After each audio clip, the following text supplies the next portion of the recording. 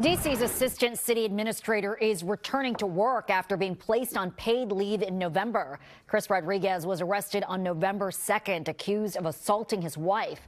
Charges were later dropped.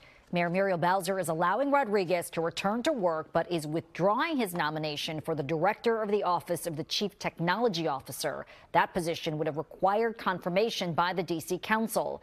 So far, no date has been given for Rodriguez to return.